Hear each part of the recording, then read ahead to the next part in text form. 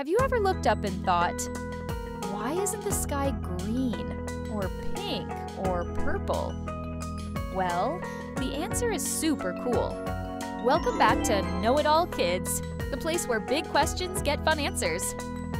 And it all starts with sunlight.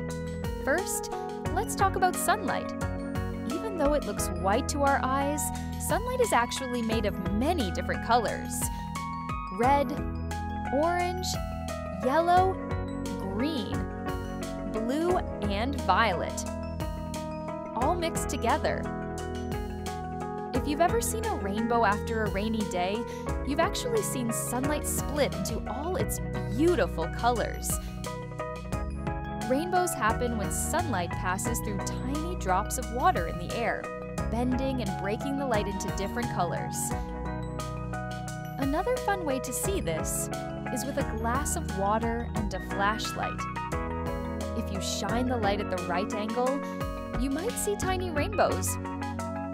Now imagine Earth is surrounded by a giant invisible blanket. This blanket is called the atmosphere, and it's full of gases like oxygen and nitrogen. There are also tiny, tiny dust particles and water droplets floating around, even if you can't see them. Even though air looks empty to us, it's actually packed with millions of tiny bits. They're so small that even a single breath you take contains trillions of air molecules. When sunlight travels through the atmosphere, it bumps into these tiny particles. And every time light hits a particle, it gets scattered.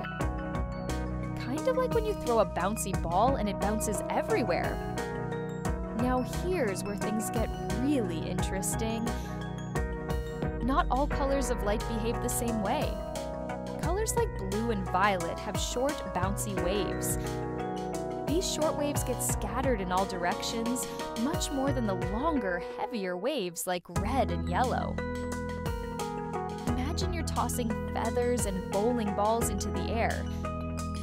The light, feathery ones, like blue and violet light, would get tossed around a lot more. That's exactly what happens to the blue light in the atmosphere. But wait, if violet light gets scattered even more than blue, why don't we see a violet sky? Great question. There are two big reasons.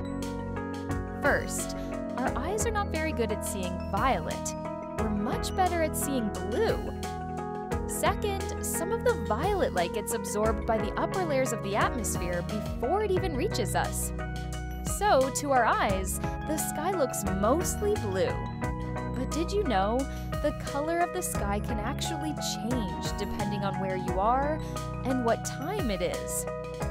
At sunrise and sunset, the sky can turn amazing shades of red, orange, pink, and purple.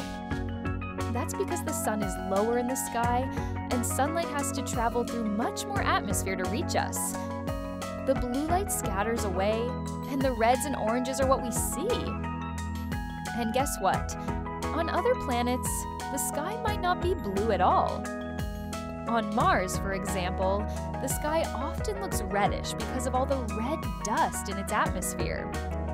So, were standing on Mars, you'd see a dusty red or butterscotch colored sky.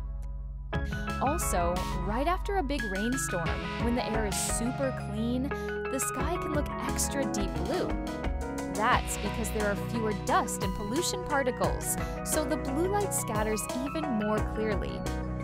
Let's recap. Sunlight is made of all colors mixed together. Our atmosphere is full of tiny particles that scatter light.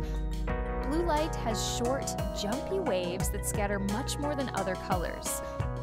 Our eyes are best at seeing blue, so that's the color we see most of all. Pretty amazing, right?